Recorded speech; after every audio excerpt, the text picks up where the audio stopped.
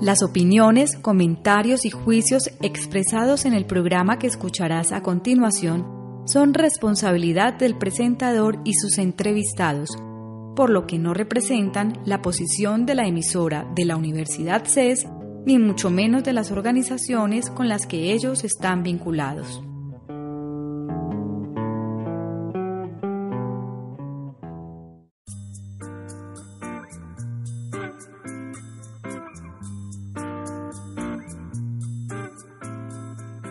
Más allá de la red.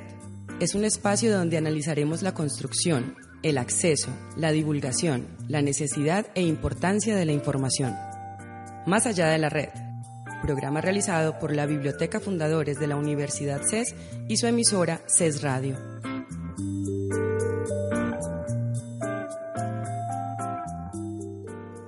Hola, saludo cordial a todos los que se conectan en este momento con Más Allá de la Red, programa realizado por la Biblioteca Fundadores de la Universidad CES y su emisora CES Radio. Mi nombre es John Wilber Sainz y hoy pues estoy muy, muy, muy bien acompañado porque pues ya después de algunas emisiones de Más Allá de la Red pues eh, estoy en compañía nuevamente de Nora. Hola Nora, ¿cómo estás? Hola John, ¿cómo estás? Qué rico estar aquí, qué rico estar con todos nuestros oyentes de Más Allá de la Red en un programa súper, súper súper especial y bueno, tendría que ser ese el motivo para que yo volviera otra vez acá a los micrófonos de más allá de la red, que me encanta, me encanta estar con ustedes y me encanta compartir con ustedes información de la cultura, los libros, las bibliotecas, así que todos súper bienvenidos y hoy John, pues nuestro invitado, como en todos los programas, un invitado de lujo, vamos a hablar de un tema supremamente interesante que estoy completamente segura que a todos nuestros oyentes les va a encantar y es sobre los booktuber. Pero hoy tenemos un booktuber especial, no es un book booktuber cualquiera, sino uno muy especial. Y se trata de Luis Miguel Mesa 10, que, quien es director y creador del estante literario. Luis Miguel, bienvenido. Qué rico que estés aquí con nosotros. Hola, gracias por invitarme. bueno, Luis Miguel, pues yo creo que ya las personas que nos están oyendo ahí mismo lo identifican, los videos, algunos ya se han enganchado con los libros que has llegado a reseñar, pero, mm, pero bueno, yo creo que eh, se nos quedó en, ah, por ahí algo muy importante y es recordarles a nuestros oyentes por dónde nos pueden eh, localizar, dónde nos pueden contar lo que ustedes, pues lo que se les venga a ustedes a la mente acerca de los programas que nosotros estamos emitiendo y son pues nuestras redes sociales. En Facebook, les recuerdo, nos pueden encontrar como CES Radio. En Twitter, seguir la cuenta CES-radio. Y también pueden estar en contacto con nosotros, con la biblioteca, a través de nuestro correo electrónico que es bibliotecaces.edu.co. Ahora sí, te, ahora sí te doy la palabra a José Luis. ¿Cómo es José? Luis Miguel. Luis Miguel. Luis Miguel. como el cantante. Sí, vamos a llegar a un montón de lugares comunes que confunden mi nombre y que luego que saben que Luis Miguel es lo, lo, conectan con Asociación, asociación. Sí, sí, y verán que no conozco, no conocía casi el cantante. Apenas este año que salió la serie? en Netflix, empecé a verla con mi novia y, y, ahí empecé como a darme cuenta quién era Luis Miguel. Y toda la vida estaba esto, ah, como el cantante. Y yo, sí, claro. Bueno, no, eh, entrando en materia, pues ya ustedes me presentaron súper bien. Mi nombre es Luis Miguel y creé hace, hace casi dos años, en diciembre de 2016, un canal de YouTube que los primeros días se llamó El Estante y después se complementa un poquito con El Estante Literario porque precisamente esa es como eh, la finalidad del canal ya lleva bastante tiempo, ha aprendido muchísimo y, y empieza pues a hacer un espacio importante para compartir las lecturas y mi gusto pues por la literatura que siempre lo he tenido. Cuéntanos Luis Miguel, ese gusto por la literatura, pero también esa idea de empezar hace dos años a ser booktuber, ¿de dónde nace? Pues mira, yo creo que nace como de un vacío que noté que había. Pues yo consumo eh, mucho, creo que como muchos pues de nosotros consumimos mucho internet, redes sociales y todo. Y yo me había empezado a dar cuenta de que el internet se convertía como, como el paso antes de cualquier decisión que yo tomaba, desde comprarme algún objeto electrónico, un celular, hasta ir a un restaurante y hasta qué libro leerme. Entonces empecé a ver que había una movida pues muy grande con, con la literatura en YouTube, pero me di cuenta también de que nunca o pocas veces encontraba los libros que a mí me gustaban y que cuando lo encontraban la mayoría de las veces no se abordaba, digamos, de la manera en que a mí me habría gustado que lo abordaran. Entonces quedaba ahí como vacío y yo siempre había leído un montón y un día, un día me pregunté como que bueno, si nunca van a encontrar los libros que yo quiero, que los que me gustaría leer y no y cuando lo encuentro no no se habla como de lo que yo quisiera escuchar, entonces me toca a mí hacerlo y, y, creé el canal con esa intención, hacer, porque el movimiento de es un movimiento, digamos, muy grande, sobre todo en España y en México. En Colombia hay varios muy buenos, muchísimo más famosos que yo, pero siempre se ha caracterizado, como hablaba contigo Nora ahorita, por un estigma que hay de que no somos profesionales y de que lo que decimos no es válido, lo que decimos es una bobada. En parte puede que en Booktube sea verdad, sobre todo en los años anteriores, porque era un movimiento más de jóvenes de jóvenes que, que, leían literatura juvenil, que leían sagas, que compartían sus lecturas y tuvieron mucho impacto, pero que no estaba el público eh, más robusto, digámoslo así. Como hablábamos ahorita con lo de Daniel Samper, digamos que nadie puede creer que se pueda hablar de cosas como política o, o filosofía en un medio tan accesible y en el que cualquier persona literalmente puede poner a, grabar su celular y, y publicar lo que dice. Entonces, esa evolución se ha ido dando de de más, en el caso de Booktube, un fenómeno más juvenil y más, digamos, desapercibido y se ha ido profesionalizando un poco más, ha entrado nueva gente a la escena, eh, yo sigo doctores de Estados Unidos y todo que lo hacen súper bien, tienen invitados geniales a sus programas, la producción es muy buena porque no solamente está la parte de lo que dices, sino cómo lo dices y qué medios utilizas porque estamos en un medio de consumo rápido, de, de tener que enganchar, de que YouTube es una plataforma de video, entonces hay que tener un buen video, saber algunos asuntos de fotografía, componer, editar. Entonces se ha ido profesionalizando a medida que también evoluciona la plataforma y las redes sociales hasta convertirse y dar espacio a, no digo a, personas como yo, pero digamos que sí a, en, en todas las esferas, tecnología, sociedad, a gente que realmente se compromete y llega a hacer contenido de tanta calidad que podría estar en televisión o, o la misma radio. Algo que, que, me llamó mucho la atención de tu canal y que lo mencionas es que, bueno, es la variedad de, de los temas, porque, bueno, yo también he, seguido algunos y, y, es como tú dices, se centran pues en sagas juveniles, pero vos, por ejemplo, te le medís a hacer un booktube de, de, de Marcel Proust. Entonces, ¿cómo hacer, ¿cómo hacer eso entretenido para, para el público juvenil, para que se enganche con eso? Entonces eh, hay un reto ahí bastante grande que ya de una vez dice que esto, que un momentito, esto no, esto, que, esto no es que se paró enfrente de una cámara y empezó a hablar, lo primero que, que, empezó a decir. Y bueno, yo creo que afortunados también los que empezaron, porque habrán empezado con una camarita bien sencilla, pero ya ahora ya los estándares de, de, de grabación pues ya se está empezando como a sentar, digamos, unas pequeñas pautas o no, o bueno, ya unas pautas de calidad. Entonces ya digamos que ya los que la tienen ahora, los que ahora están pensando en hacer eso, ya tiene que ser algo un poco más sistemático, ya tiene que ser algo un poco más pensado, ¿cierto?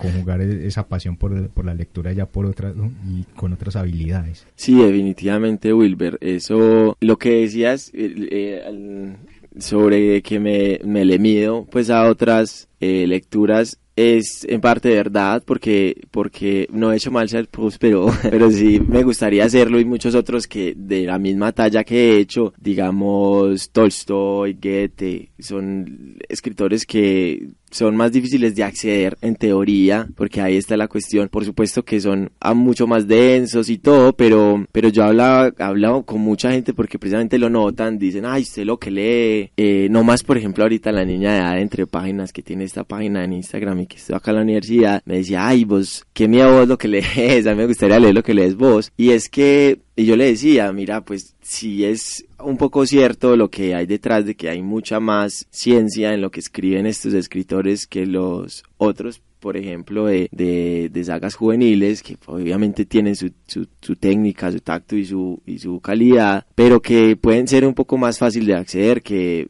Tolstoy o Proust o Goethe. Entonces, pero yo le decía, precisamente lo grande de estos escritores es que son también grandes contadores de historias. Entonces hay una filosofía detrás de, de, de todo lo que hablan, de, de las ideas que presentan y que han marcado pues toda la historia de la literatura pero es la clave de ser un buen escritor está precisamente en cómo metes eso en una historia entretenida. Entonces, si lees Tolstoy te das cuenta de que hay historias muy entretenidas de personajes muy grandes, que se leen muy bien, que son fáciles de llevar. Entonces, una vez te metes, te das cuenta de que, de que esa es la grandeza precisamente, de que no es difícil hacerlo y que es más un poco un mito de, de que es difícil de leer, de que de que mejor no me meto ahí. Entonces yo creo que ese es básicamente el mensaje que a mí me gustaría dar y es, mira, lo puedes hacer, eh, es posible hacerlo y, y, lo vas a disfrutar muchísimo. Entonces me gusta pues eso. Para quienes nos escuchan, quisiera contarles que Luis Miguel es muy joven. ¿Cuántos años tienes?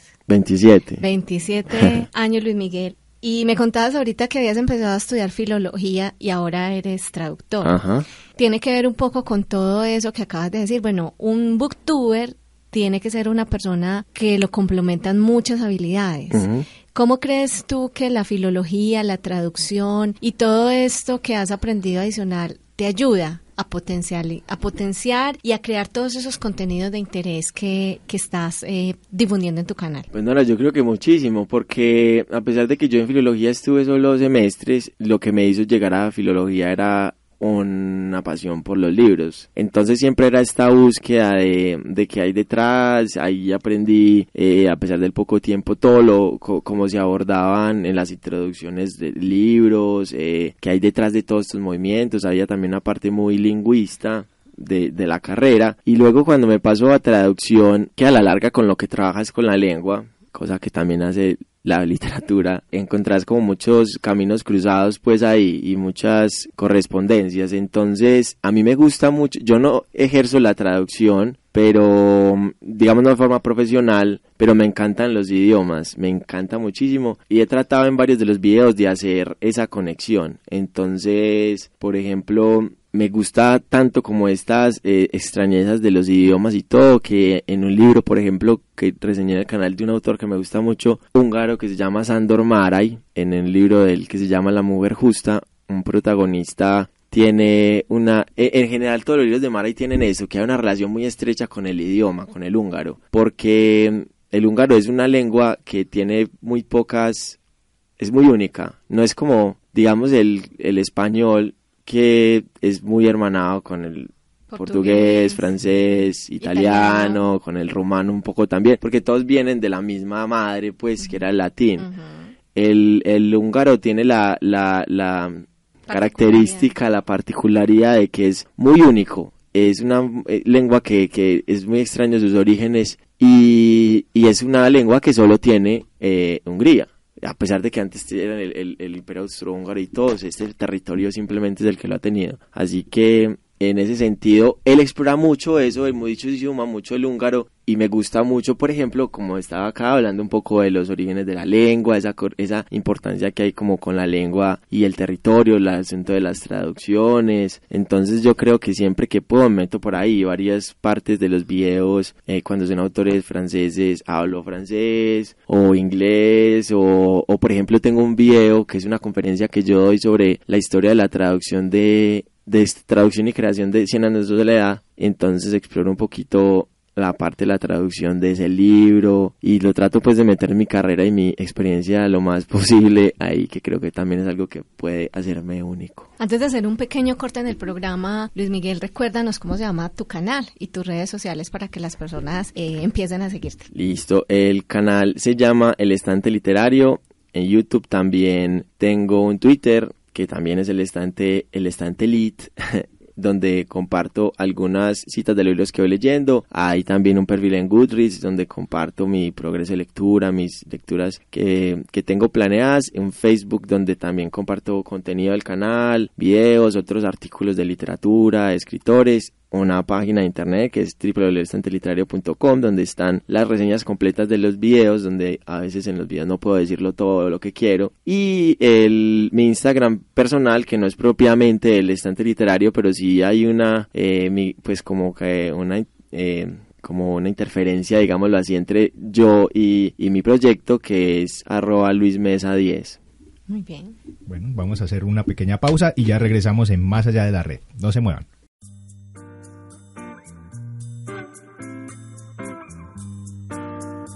Las bibliotecas son esos espacios donde se genera la búsqueda del conocimiento y el desarrollo. En nuestro programa te contaremos sobre el aporte que hacen las bibliotecas a la sociedad, la cultura y la ciencia. Más allá de la red, programa realizado por la Biblioteca Fundadores de la Universidad CES y su emisora CES Radio.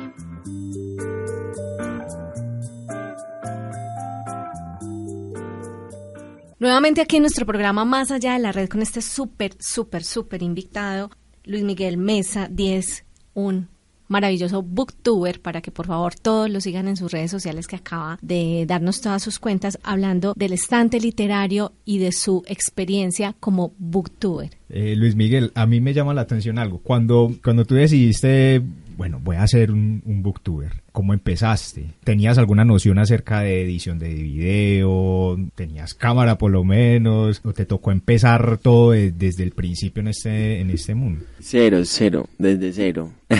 Yo, todo, o sea, todo de cero. No, no sé nada de cámaras. No sabía más bien absolutamente nada de cámaras, nada de grabación, nada de edición. Había editado un video en el colegio como maker, pero pues lo más poco profesional del mundo. Pero yo de hecho había empezado el proyecto proyecto, bueno, no, no, lo había pensado mucho antes de hacerlo. Yo tengo, el, el, el canal lo lancé como a finales de diciembre de 2016 y yo eh, tengo noticia por unos diarios que estaba escribiendo que en abril de 2016 había querido empezar el canal, pero ya la, la, la, idea se está incubando. Pero entonces es en diciembre, finalmente yo creo por ahí en un, año y medio haberlo por primera vez concedido, que un amigo que recién había conocido, un día estaba yo en Facebook normal y había, pues había conocido a este man en una finca, habíamos tenido como buena relación, pero como que nos habíamos visto pocas veces, estábamos, lo tenía en Facebook y fue soltando de la nada como el 20 de diciembre, un video de Booktube. Abrió un canal de Booktube y yo dije, ah, este man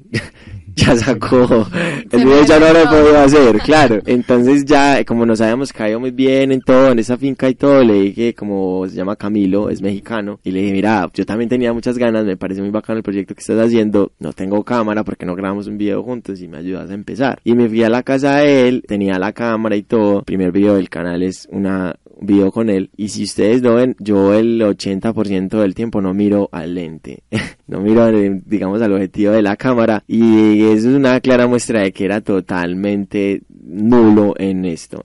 así que como era diciembre, toda la cosa, eh, después en enero, digamos que comercialmente hay promociones y todo, aprovecho y me compro una cámara que no es necesaria, por cierto, para grabar, pero me la compro y empiezo a estudiar fotografía y todo y empiezo a aprender nociones y todo. Cometí muchísimos errores de grabación, de edición, de todo lo que te puedas imaginar todo, absolutamente todo, todo, todo, grabé videos tres veces, o sea, todo. Y fui haciéndolo, yo creo que en este momento apenas empiezo a sentir que, que soy yo ante la cámara, porque en los videos al principio era muy tímido, eh, tenía muchos problemas de edición, de composición, la cámara no estaba enfocada, eh, los videos eran más largos que lo que debía y miles de cosas, pero nada, empecé desde cero y, y ahí uno va aprendiendo en la marcha. Retomando el tema de tu canal, que son los libros y las reseñas de los libros, me gustaría preguntarte cómo seleccionas esos libros que quieres compartir. Si bien ahorita decías que para ti entrar a una librería o una biblioteca era como entrar a un almacén y querer comprar toda la ropa y ponérsela, yo tengo un poco el mismo sentimiento. A mí me da como, como cierta tristeza no tener el suficiente tiempo para leer todo lo que yo quiero leer. En ese orden de ideas, ¿cómo seleccionas eso que quieres compartir con tus eh, lectores? De tu canal, con tus videntes de tu canal. Y además de eso, ¿cómo te tienes que leer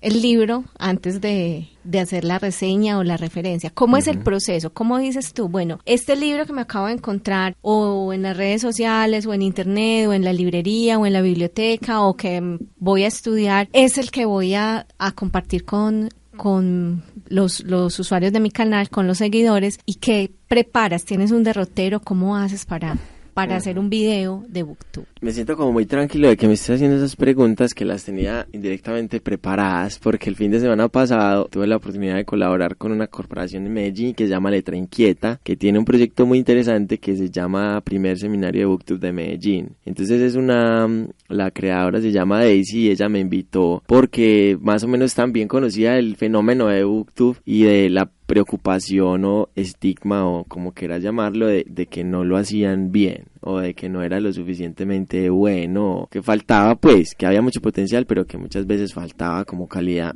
en varios aspectos. Así que la Daisy decide hacer como un, seminario y me invita a mí a otros booktubers de Medellín como a enseñarles a los pelados que lo quieran hacer, cómo hacerlo. Así que la semana pasada y, la antepasada tuve mucho tiempo para pensar cómo hacía yo las cosas y daba mucho con la pregunta que haces. Siempre yo creo que eh, la gente sabe, sospecha o, o ha empezado a ver que nosotros los booktubers somos ahora ya como muy contactados por eh, las editoriales y todo, y que ahí hay una interferencia, digamos, o un interés económico, pues como en, en que vos hables del libro que se está promocionando y que se está vendiendo y lo que está recién salido, ¿cierto? Pero a mí me gusta mucho estar muy en el medio de eso, en el medio del sentido como de no tan allá ni tan acá, porque es cierto que cuando vos estás en un medio querés pues si yo grabo un video, luego, entre las cosas que quiero es que me vea la mayor cantidad de gente posible. Y para que me vea la mayor cantidad de gente posible, tengo que hablar de lo que la mayoría de gente quiere escuchar. Y que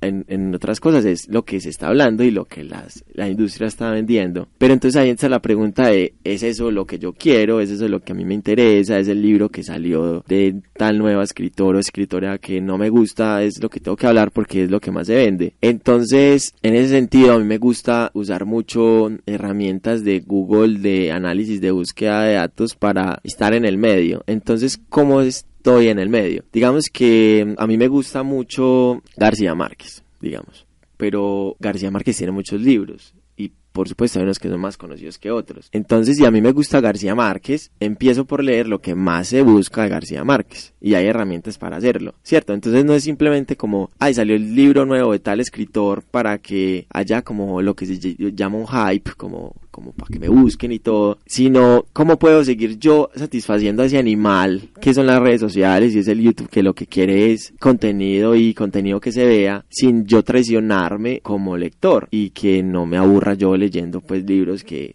que me impone la dinámica de las redes. Entonces ahí está. Entonces si está, si a mí me gusta tal escritor, eh, me busco el libro que más se lea de él y así me voy yendo y así voy escogiendo. Por supuesto que siempre está ahora desde que estoy con el canal, todo el libro es que seguramente lo voy a reseñar. Entonces tengo que pensar si me veo haciendo un video sonriendo a una cámara y gastando todo el tiempo y esfuerzo y, todo el trabajo que se invierte en un libro que puede que no me guste, ¿cierto? Entonces sí, ha sido como esa búsqueda entre el punto medio todavía yo como lector disfrutarlo, pero entender que también hay una interés que tengo de ser visto y unos gustos e intereses del, del público también. Es como puede estar ahí en la mitad y hay muchísimas herramientas de hacerlo, no hay excusa para lograrlo pues. También puede pasar la situación que, bueno, que coges un libro y, y, lo lees y este libro lo, lo, lo, vas a reseñar, pero después de que lo lees no te gustó. Entonces también cabe esa posibilidad de reseñar un libro mal, pero un libro que no te gustó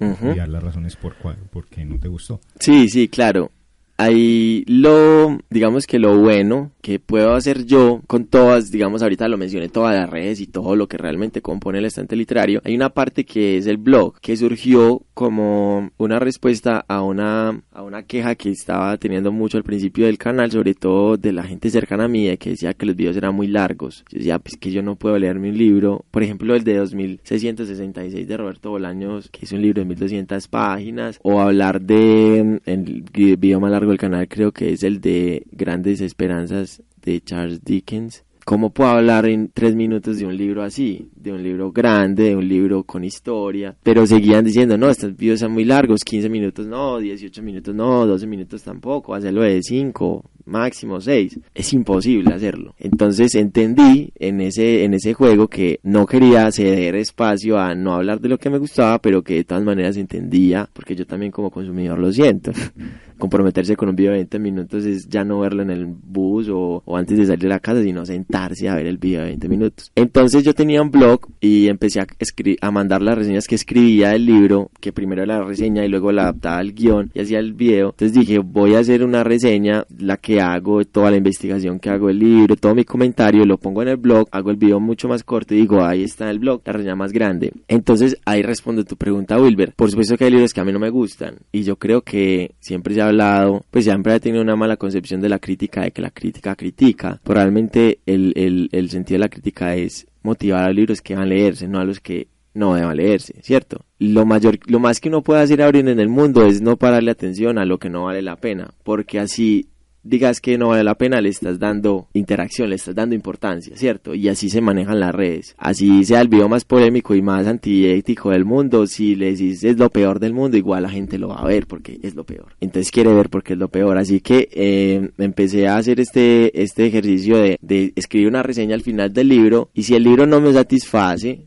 pues igual ya escribí la reseña, ya traté de entender el libro, ya hice mi catarsis con el libro de, de entenderlo, está en el blog, pero no me gasto el tiempo y el esfuerzo que requiere hacer un video, porque es muy grande. Yo diría que es el, es incluso más exigente que la lectura misma. Entonces, con toda la edición y toda la grabación que se pone. Entonces, si un video no me satisface del todo, pues hablo de él, pero no hago video. ¿Cuánto tiempo te toma hacer un video de una reseña de un libro? O sea, dices, desde la lectura del libro, o sea, desde escoger qué libro vas a leer con todas las anotaciones que acabas de hacer de cómo las seleccionas hasta hacer el video como tal, toda la parte de preproducción y todo lo de postproducción para ponerlo en el aire. ¿Cuánto tiempo te puedes tardar en eso? Pues en la búsqueda del libro, pues es breve, pues, porque digamos que ya anticipadamente es más o menos de qué libros quiero leer y, y a veces que no lo sé tanto o que quiero hacer la parte de, buscar qué podría ser beneficio para el canal, pues eso es una cuestión rápida. Pero ya en la lectura del libro, que es mucho más diferente para si la vas a hacer para Booktube que si no, si te lees un libro cualquiera, pues lo lees y lo disfrutas, y pero como que no sacas, no estás pensando en la reseña. Ahora, si yo tengo un canal, tengo que estar desde la lectura pensando. Entonces, marco ideas, escribo en el celular algo que me impresionó, que me gustó,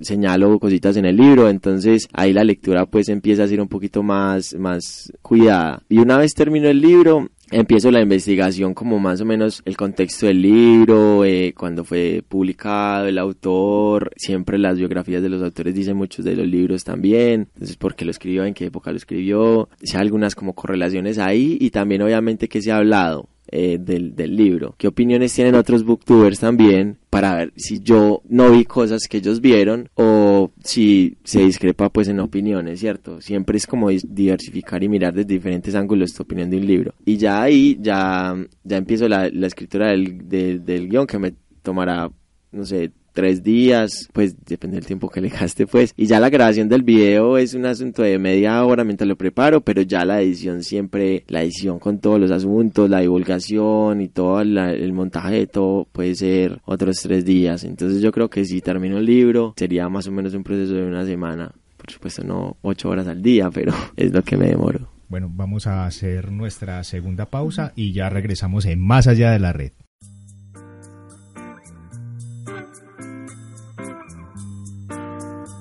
Las bibliotecas son esos espacios donde se genera la búsqueda del conocimiento y el desarrollo. En nuestro programa te contaremos sobre el aporte que hacen las bibliotecas a la sociedad, la cultura y la ciencia. Más allá de la red, programa realizado por la Biblioteca Fundadores de la Universidad CES y su emisora CES Radio.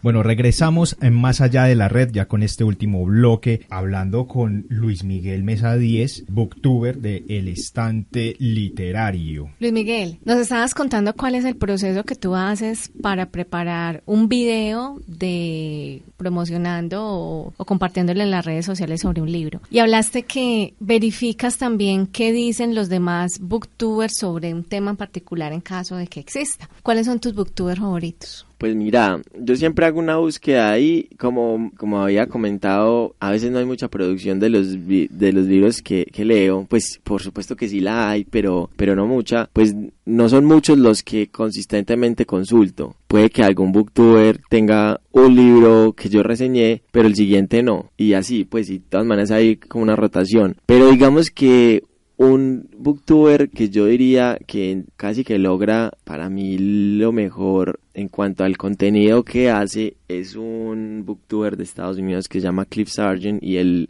canal se llama Better Than Food Book Reviews. Es un, un tipo muy, muy inteligente. Hace, tiene un estilo muy, muy raro porque no es muy parecido al de todos los booktubers, sino simplemente empieza a hablar del libro y se va a 20, 25 minutos, pero en sus divagaciones siempre hace cosas interesantes y se mete con literatura buena, ¿cierto? Hay otros en la ciudad que también hacen comentarios interesantes, uno de ellas es una niña que se llama Valentina Quiseno, tiene, sobre todo hace unos años hacía reseñas eh, muy interesantes de libros, ahora se ha hecho otro contenido, pero es una que siempre que tiene video lo miro. Y bueno, es como que los que más tengo en el radar, el resto eh, es más como que no sé, no, no los tengo como casi en mente, pero sí consulto. ¿Y youtuber? ¿Cuál es uno de tus youtubers favoritos? Ah, pues mira que, que yo consumo mucho YouTube y he tratado mucho de hacer unos videos, sobre todo últimamente, como muy influenciado por ellos. Ahora hablábamos de uno que se llama Matías Vela, que es un podcaster, y otro mm, que es para mí muy influente, otros dos es Casey Neistat, que es un blogger,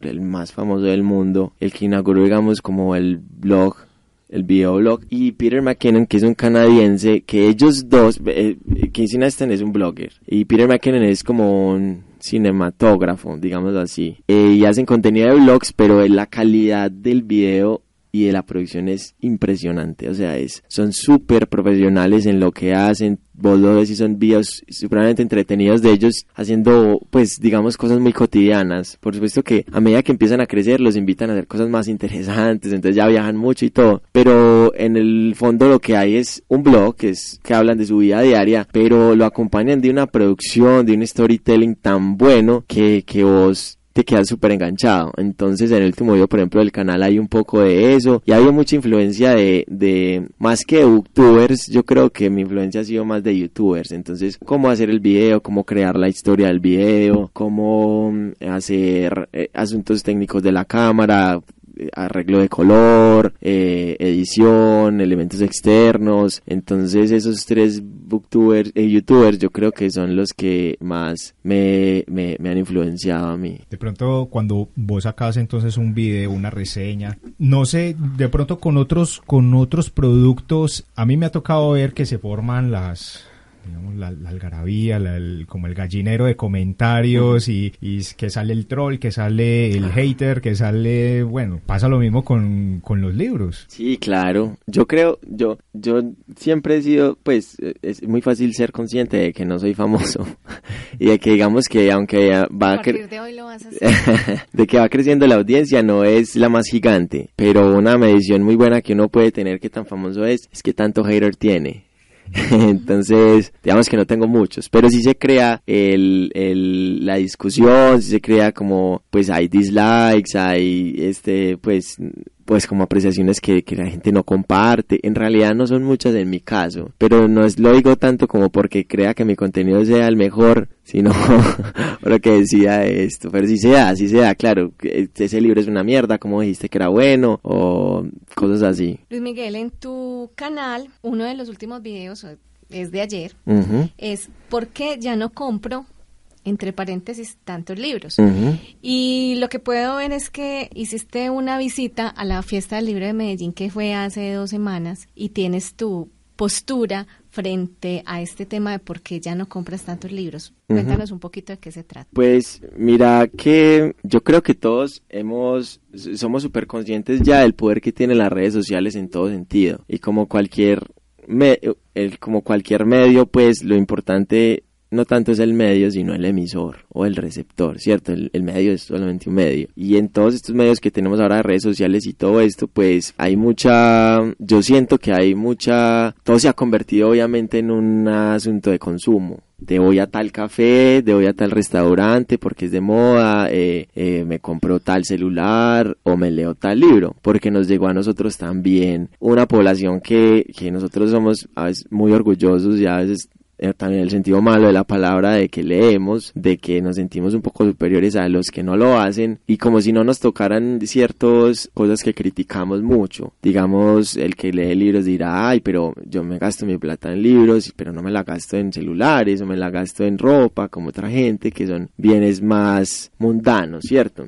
Pero nos damos cuenta de que en todo ese discurso que nos venden de, de, los libros, pues hay, hay un asunto de consumo, ¿cierto? Y no nos olvida que el libro, además de ser un objeto muy bonito, muy rico de tener, y todo el asunto de lo que importa del libro es el interior del libro, y para acceder a él no hay que comprar siempre el libro. Entonces, en toda esta dinámica de, de, de, de, mostrar y compartir lo que leo, muchas veces se está convirtiendo en lo que compro. Y todas, no, no, la Feria del Libro de Medellín tiene ese asunto muy interesante que me gusta mucho, que no es fie, feria, perdón, sino fiesta del libro. Entonces, no es ir a una feria a comprar, sino es una fiesta a disfrutar y te enredas uno que otro libro, ¿cierto? Entonces me parece muy bonita y muy bacana esa, esa, ese método de la fiesta del libro. Y es más o menos de lo que hablo yo ahí, porque a pesar de que en el libro, y dijiste muy bien, entre paréntesis está el tantos, porque yo sí compro libros, y en el video compro, el asunto es que muchas veces yo me, iba a ferias y ahorita que estoy rodeado de muchos creadores también de contenido, nos damos cuenta de que llega una feria del libro y uno dice, me voy a comprar tres libros y sale con 15 porque es con pague dos, lleve cinco, entonces uno, ay, ¿cómo no? Me va a llevar los cinco libros y termina uno comprando libros que no sabe si va a leer, termina uno comprando libros eh, por comprar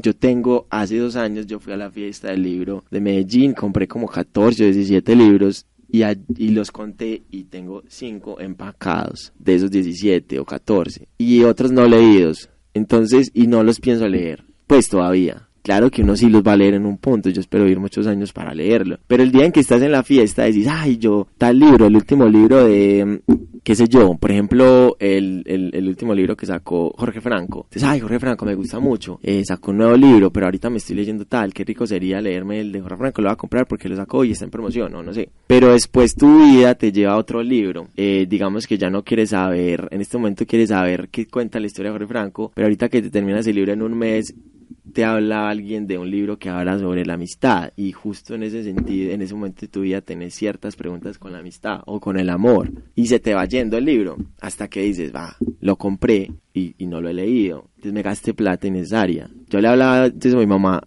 ayer, decía, si usted compre, no es que no me vaya a leer el libro y toda la cosa, pero es como si uno se comprara mil galones de agua, ya, te los vas a tomar, sí, pero después, porque gastar toda esa plata en este momento en esos mil galones de agua. Más bien en el momento en que realmente quieras comprar el libro y que sea conciencia que aporte valor esa compra, pues lo haces. Lo otro que hablaba yo con, con Luis Miguel precisamente sobre eso es que existen las bibliotecas.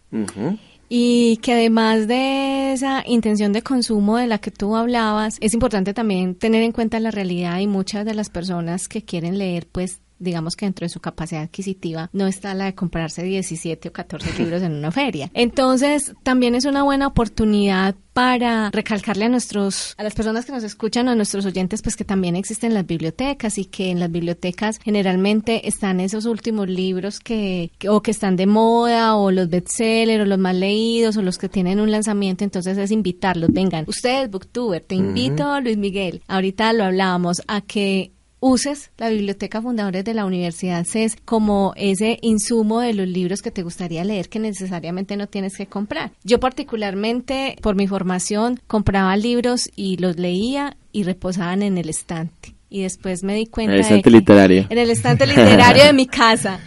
Y después me di cuenta que que lo mejor que yo podía hacer con esos libros era regalarlos. Ya los había leído, entonces los regalé a una biblioteca o los pongo a girar entre mis amigos y ya no me importa si vuelven o no vuelven. Y en el caso de que necesita releerlos, pues voy a la biblioteca y lo leo. Entonces quería un poco hacerte esa invitación y dejarte ese mensaje. También no necesitas comprarlo, las bibliotecas también están ahí disponibles para que te encuentres con esas joyas que quizá no, no encuentres en una feria del libro o que quizá no esté disponible en su momento, pero que tú dices, wow, este libro siempre lo quise y estaba aquí, me encontré con él en el momento en el que estoy listo. Sí, Nora, muchas gracias por la invitación. Yo pienso en eso, obviamente no, eh, esta, toda esta reflexión alrededor de, de, de comprar, consumir libros, no es un asunto de un día, sino que ya mucho tiempo he encontrado precisamente en las bibliotecas el lugar, yo creo que muy único, digamos que con los carros más o menos, en este momento es el que pienso que también se puede alquilar para, o más o menos con la ropa de alquiler, pues, pero tú no puedes ir a un lugar a alquilar un celular, o no puedes ir a un lugar a alquilar tu ropa de todos los días, pero sí puedes ir o prestar o pero sí puedes ir a prestar libros a una biblioteca y no te cobran entonces yo creo que las bibliotecas son lugares que, que nos ofrecen un servicio gigante y que, y que precisamente con esto que hablaba de que lo importante es leer, no tener el libro, eh, se cumple muchísimo en la biblioteca. Y gracias por la invitación porque justamente ahorita estaba esperando un ratico ahí y al lado de una de mi silla donde estaba sentado en una mesa había varios libros que, que están en esa lista de que quiero leer. Y como decíamos, yo quería, como madre, en vez de ponerme a leer el libro que estoy leyendo, quería como ver cómo empieza alguno de esos libros que había ahí que me quiero leer. Entonces, definitivamente las bibliotecas son espacios únicos para, para esto, para obtener el conocimiento, la lectura sin, sin tener que gastar plata, sin tener que encartarse con el libro, porque no hay nada peor que pasarse de casa y darse cuenta de que los 300 libros que tenés pesan mucho, de que va a costar... ya no te caben en el Sí, sí, de que no los vas a volver a leer seguramente. Entonces, las bibliotecas son el lugar para esto, para el conocimiento gratis con muchas novedades, te hablas de la universidad, la, biblioteca de la universidad, de las universidades son bibliotecas que siempre se mantienen muy actualizadas, con libros muy buenos, en perfecto estado, entonces yo creo que, que son un lugar precioso para venir a leer y conocer libros. Incluso muchas bibliotecas se han formado precisamente de donaciones, que son pues colecciones personales de, personas que las donan. Yo imagino que ya dentro de por ahí unos 100 años más o menos, cuando ya estos booktubers que están ahora pues en el apogeo, ¿qué van a hacer ya después cuando ya, cuando ya estén viejos con toda esa colección de libros? ¿Qué va a hacer con todos sus ah. libros cuando ya no los quiera? Este, está haciendo para que la ven el Sin duda, yo lo he pensado. No necesariamente a cualquier biblioteca bibliotecas comunitarias, hay bibliotecas populares, hay bibliotecas públicas que estarían maravilladas de recibir esos libros. Pero bueno, más allá del ejercicio de, de, donar las bibliotecas personales que en algún momento el ex rector del CES en una charla que tuvimos en Envigado sobre bibliotecas conscientes, él decía que las bibliotecas personales están desapareciendo, que antes las, las casas, los eruditos decoraban las casas con eh, deme cinco metros de libros, sin importar qué libro, y ahí estaba la biblioteca Espasa y demás. Eso está desapareciendo, pero más allá de desaparecer por la intencionalidad de, del, del, del, conocimiento como tal, o, porque ya no tenemos espacios en, en los apartamentos que cada vez son más pequeños, o porque la tecnología me permite tener miles de libros en un, en un dispositivo muchísimo más sencillo, pero como quiera que sea, las bibliotecas siempre van a estar ahí para quienes no tengan ese acceso al conocimiento. Sí, sí, totalmente. Y, y, y yo vivo súper feliz con los libros que tengo y precisamente ese ejercicio de, de, comprar el libro que significa y que aporta valor para mí es también en miras de que en algún punto la biblioteca en total se convierta en, un, en una colección que me represente. Eso está todo ahí, todo ese significado. La gente en primera instancia puede entender, ay, no compra libros y todo, pero no, precisamente es comprar el libro que, que, que, que cuando la gente la biblioteca se vuelve uno se vuelve la, uno consume ese libro lo tienen dentro de uno y se vuelve uno esas ideas pero pero claro pero el objeto externo a uno es la biblioteca misma y, también lo define a uno como, como las ideas que coge uno de ahí. Entonces, sin duda, yo he pensado mucho en eso de, de, de para dónde va a ir mi biblioteca cuando, cuando me muera. Y donarlo es, por supuesto, una de las, una de las fines más grandes que puede tener. Entonces, eh, estoy haciendo desde ahora un trabajo muy consciente para que se la peleen. para que sea, El testamento sí, sí, sí. O, la colección Luis Miguel Mesa 10. Ajá. Suena bien. Suena bien esa, esa, esa colección. Pero bueno, ya el tiempo se nos ha acabado. Muchísimas gracias Luis Miguel. Hemos pasado un rato súper agradable aquí. Yo creo que tus seguidores, cuando escuchen este programa, se van, se van a topar con, un, con una faceta completamente distinta del estante literario, como nunca lo habían escuchado. Sí, sí, sí, totalmente. Sí, yo suelo como compartir muy poco como estas como días o cositas personales en el canal, porque a la larga es asunto de libros el libro es el protagonista, pero, pero sí, eh, hemos explorado muchas ideas aquí que a mí me gustaría que también supiera la gente que me sigue. Entonces, muchas gracias por habérmelo sacado. Recuérdanos nuevamente, Luis Miguel, tus redes sociales, donde el, nombre del canal del BookTube y, y donde podemos verte y leerte. Listo, entonces el estante literario como tal es, como había dicho ahorita, es más que un canal, digamos que el medio principal es el canal eh, de, de, YouTube que se llama El Estante Literario. Si lo buscan ahí en YouTube sale primerísimo. primerísimo eh, ya lo sé que aquí, ya sí, me gusta. Sí, eh, Instagram también. Ajá, gracias. Luego, digamos que viene el, can, el, el, el blog del, del, del, canal, la página oficial que es www.estanteliterario.com, súper fácil. Y ahí pueden acceder tanto a los videos como a los textos de las reseñas y muchos otros contenidos que a veces no salen en el canal. Podemos estar también conectados por Twitter, donde comparto algunos fragmentos de lecturas que voy llevando. El Facebook, que es el fanpage del, del canal, donde están las reseñas, donde están links a todo el estante literario, pero también a otros artículos de escritores y cosas relevantes que me parecen del mundo literario. Está el Goodreads, que es una red social de libros donde uno comparte sus lecturas, sus opiniones, entonces por ahí se pueden enterar de qué estoy leyendo, qué leí y qué leeré. Y mi Instagram personal, donde también es obviamente una entrada un poco más personal de, de, de, mí como creador, pero al final también llegan a, a, a, todo lo que es el estante literario. Entonces hay de todo para que me conozcan y sigan el canal. Y además de eso, invitar a todos nuestros oyentes a que sigan a la Universidad CESA, su emisora CES Radio, a través de Facebook. Nos encuentra como CES Radio. Allí están los archivos de audio alojados también en la emisora radio.ces.edu.co y obviamente a la Biblioteca Fundadores en Instagram, en Facebook, Twitter. Nos encuentran como Biblioteca CES o también como Biblioteca Fundadores y ahí también compartimos todos estos programas, foticos para que conozcan a, a Luis Miguel aunque sea en foto también.